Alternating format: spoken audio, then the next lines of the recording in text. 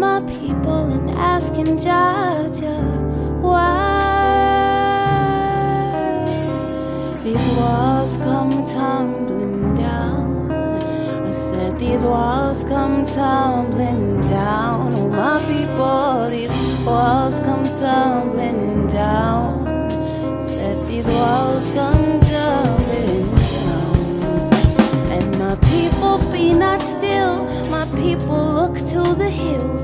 People just until you feel exactly what I feel. Overdue like roadkill. My people, can't you tell that we're still here?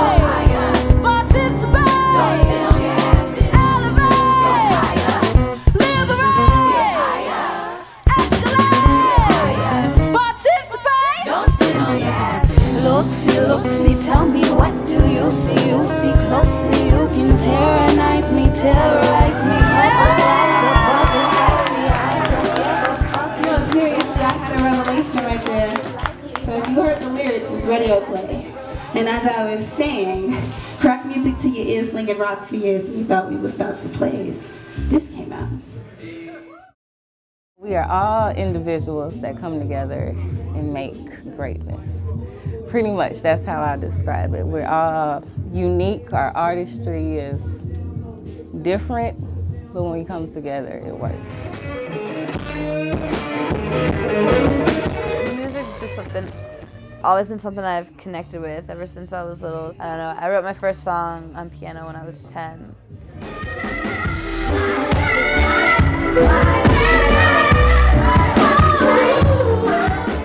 I've been singing since three years old, and I started on piano. I've been singing and performing in choir since elementary school, throughout college, and uh, I started performing live bands and concerts in college.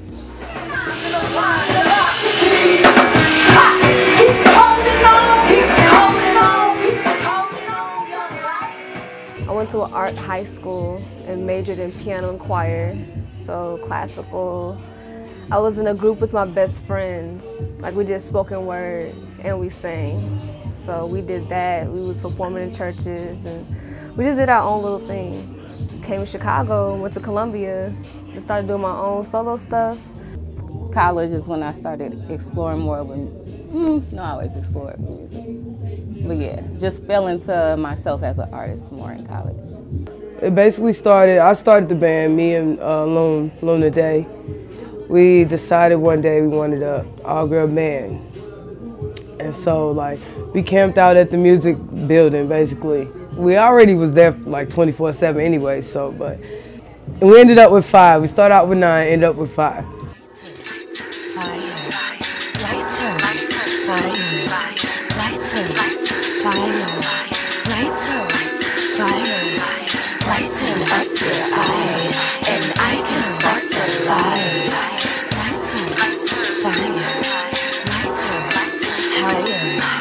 I'll give you one more chance. I can show you how to advance. Experience all of my hands. I bet your body will learn a new dance. Flexing all of my skills. Mind, body, spirit in these hills. Got a prize for a guy with a will. Power up so I know the shit is real. Both as an artist and um, as a person. Currently, like whatever I'm feeling or whatever I'm experiencing, like my personal experience definitely matters in what I write about. I am inspired by what's going on around me. I mean, you have to be.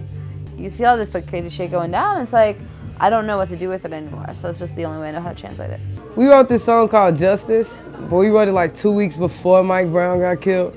And that's like our hometown. Half the band is from St. Louis. Like, that was down the street from where I stay. My grandmother called me crying because Mike Brown looked like one of the family. And we really performed that song a lot the whole time that was going on and shit like that. But like, our music is for the people anyways, or what we feel, or our struggle and shit like that. Which is everybody's struggle basically, everybody got one.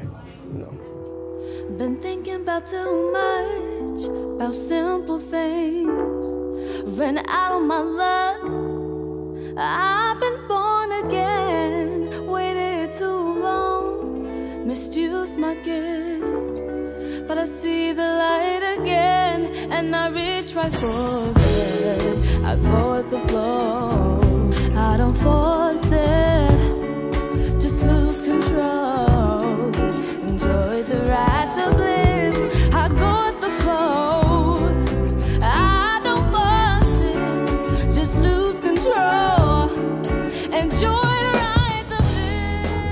struggles. Uh, I don't want to say fitting in because we don't try to fit in. Kind of feeling like the underdog or feeling like uh, just working harder, which is not necessarily a bad thing. We played so many places that we were underestimated so much. Like, are you gonna hit all these drums? You know, and stuff like that. And it's just like, you know, I'm just a drummer. Like, doesn't make a difference if I'm a girl or a boy, you know.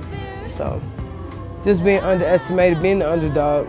But that just that's fuel for the fire, you know. It's like help you go harder, prove people wrong. Could you elaborate on the importance of having women producers and women in the more behind the scenes areas of music?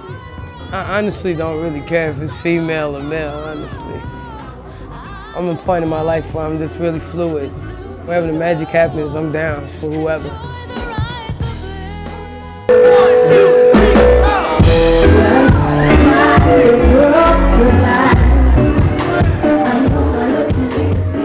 It's like as a woman, I don't really think about I'm a woman all the time. So when I'm producing, I'm not really thinking about being a woman and producing. I'm thinking about being creative. It doesn't really matter if I'm a woman if I can't execute it. There's so many talented women that I see and that I hear that are amazing. So here we are, we here. Just being confident in who you are as an artist. It starts there, it ends there. When you're performing on stage, like how do you feel? Are you just as nervous as you were the first time that you got on stage? Sometimes, but I overcome that and it feels good to overcome it. And each time gets better and it feels better. But before, yeah, I was so nervous. It's like so much going on, y'all. I'm like, what? But I just worked through it. Being in this band, when I first came to them, I was not able to do certain things and they helped bring it out of me, basically. Um, it becomes more comfortable each time. Just falling into what I always knew was there and becoming confident in myself is greater each time. I mean, playing shows is like the best thing ever. I mean, it's really awesome. You're in this room and you're connecting with this group of people. You like you don't know their name necessarily. I don't know their story, I don't know where it came from, but we're all connecting on a different level because we're all experienced this one thing in this moment, and that will never happen again.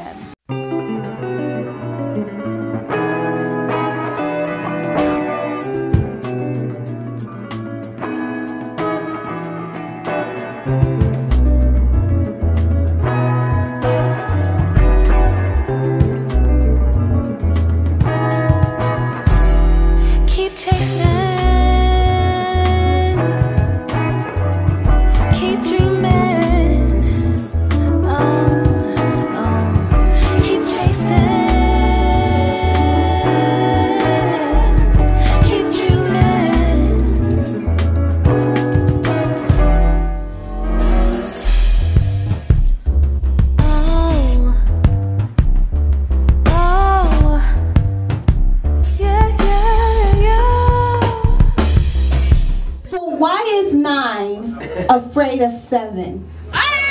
Seven, eight, nine. No, don't tell the joke. You don't do that in an audience heckler. What are you? What is nine? Why is nine afraid of seven? It had me craving the unexpected. My soul breathes when I'm finally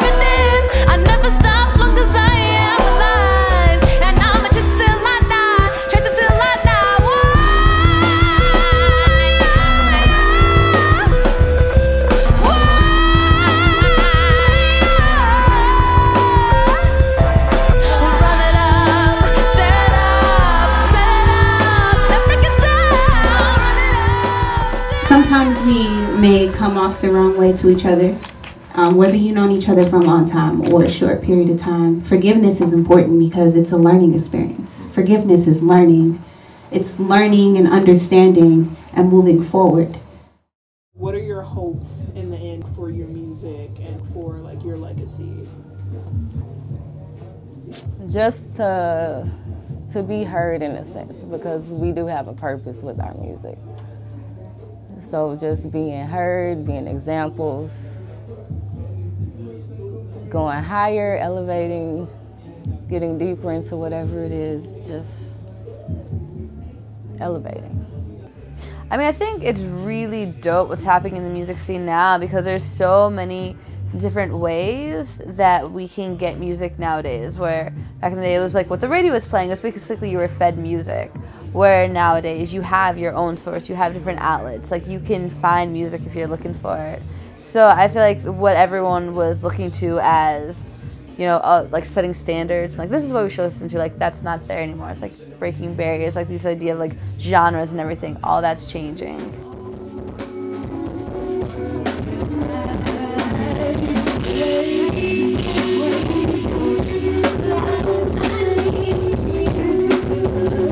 I'm very inspired by everyone, I, the, the collective I am in. I mean, they're all amazing artists, and being able to like go and create music with them is the best thing ever. This is not only something that I want to do, but also something that I want to help other people feel good about. It makes me feel good, and I want my music to make other people feel good. So that definitely propels me to be a better performer and better entertainer. I just want to see the world and meet different people and like meet artists that influence me. I just want to experience shit I ain't never experienced before. To be heard, you gotta be bizarre, something different. So like, if you're different, if you're out of this world, if you feel like you're an alien, whatever, be an alien. You know what I'm saying? Woke up this morning, baked up a session, looked at my life,